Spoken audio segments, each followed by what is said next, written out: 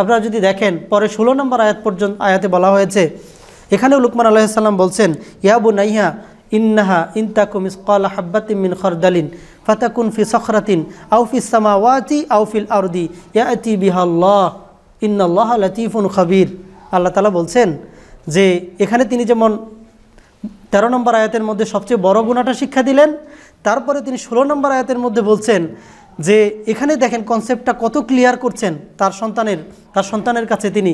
তিনি বলছেন যে, দেখো, যদি সরিষার দানা পরিমাণ কিছু থাকে, যদি সরিষার দানা পরিমাণ কিছু থাকে, এটা যদি থাকে পাথরের পাথরের ভিতর এবং এরপরে যদি এটা থাকে অন্তরিক্ষে, মহাকাশের উপরেও যদি এটা থাকে, আর যদি থাকে এটা মাটির গর্বে, তারপরেও এতি বিহাল্লাহ আল্লাহ তালা এটাকে নিয়ে আসবেন।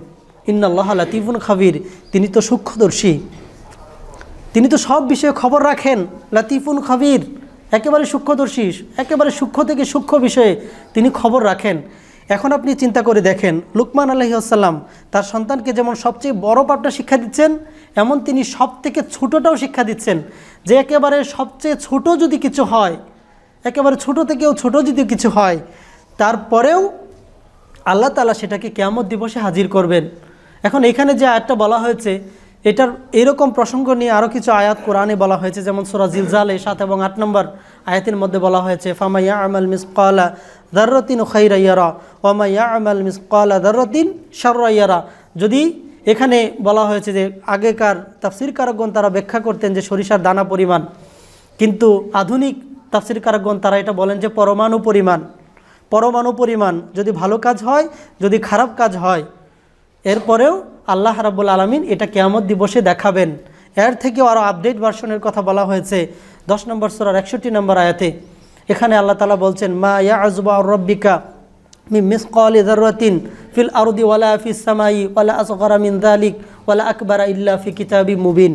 আল্লাহ তালা বলছেন যে আল্লাহ তালার কাছে এটা তাজ্জুবের কোনো বিষয় নয়। আল্লাহ তালার কাছে এটা তাজ্জুবের কোনো বিষয় নয়, বিস্মিত হওয়ার কোনো বিষয় নয় যে পরমাণু পরিমাণ কোনো কিছু থাকবে আকাশের মধ্যে অথবা জমিনে, অথবা এর থেকে আরও ছোটো, অথবা এর থেকে আরও বড়, যেটা আল্লাহ তালা একটা স্পষ্ট কিতাবের মধ্যে তিনি লিপি, লিপিবদ্ধ করে রাখেননি। এরকমটা হবে না।